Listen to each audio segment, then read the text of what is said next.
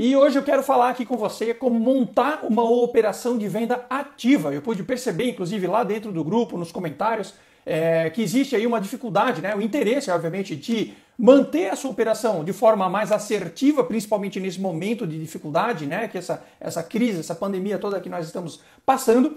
O maior desafio para quem está começando agora a montar o time de vendas é que, além de não encontrar um, um perfil ideal, é, acaba não conseguindo até remunerar né, um, profissional que tem aí no mercado, que é, custa caro, né, você vai pagar lá, sei lá, R$ 1.500, R$ mil reais, R$ mil reais às vezes, né, dependendo da região aí, é uma média salarial, e o cara não traz resultado. Não traz resultado por quê? Porque internamente você não tem um processo estruturado de vendas. Né, você está delegando uma atividade que você não sabe fazer. Você quer estruturar um processo de venda ativa na sua empresa, parar de depender de indicação, ou quer fazer com que o seu vendedor, se você já tem uma equipe de vendas, né, dois, três vendedores ou pré-venda, etc., é, você quer melhorar o resultado, então define processo de vendas.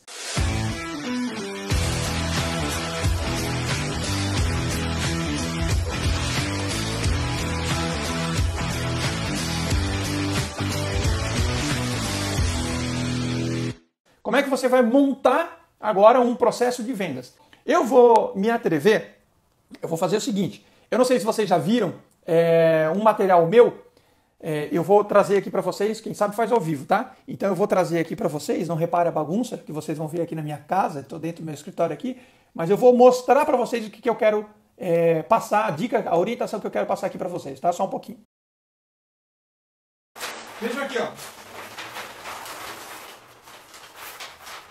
Eu tenho 1,80m, tá?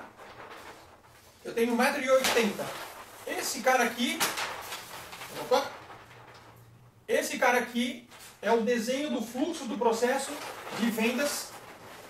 Não sei se vocês estão me escutando bem, mas esse aqui é o fluxo do processo de vendas que eu coloco para rodar dentro dos meus clientes, tanto da mentoria quanto do venda do software na prática. Vou jogar, vou jogar ele aqui no chão, tenho o maior carinho por ele. Tá? Mas o, o que, que acontece? Isso, desenhar esse processo, tá? É, é fazer com que você tire da sua cabeça o que o vendedor precisa fazer com que o cliente passe por esse processo para fazer rodar. Vocês que são mais técnicos, né? É, é, a mesma coisa que desenhar a estrutura de código de, ou de banco, né? De uma integração com telas ou funcionalidades do teu software. Você tem que desenhar essa estrutura por trás do seu processo comercial. Então, quando a gente fala de desenho de processo, a gente pensa o seguinte, né? faça um exercício mental aí com vocês.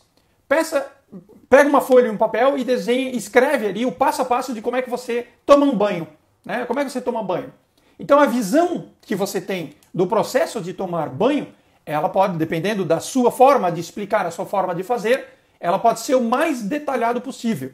Né? Então ela pode, por exemplo, você pode dizer, não, eu entro no banheiro, tiro a roupa, é, enfim, escovo o dente, entro no chuveiro, lavo, me molho, lavo a cabeça e você vai detalhando parte por parte até o final de você tomar banho.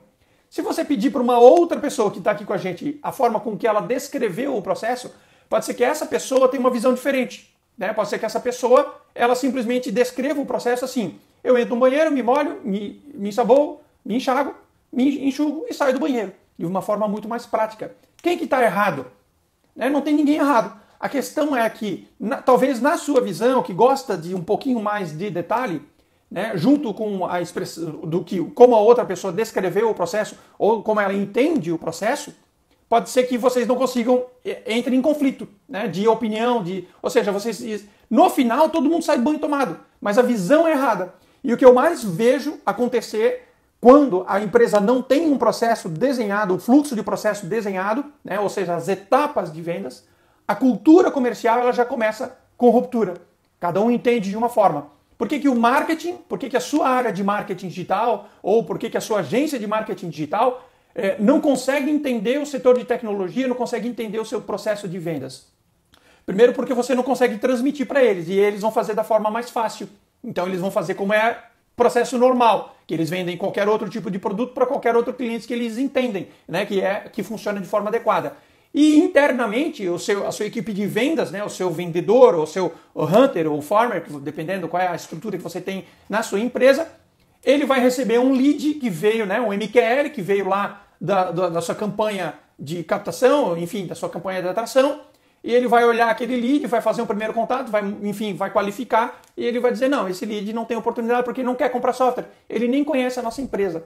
Então o que, que acontece? Não tem processo, aí vocês não conseguem fazer gestão, as equipes não se conversam, e aí dá bug, né? Aí dá pau, dá pau no sistema, vai dar aparecer tela, tela azul aí, né?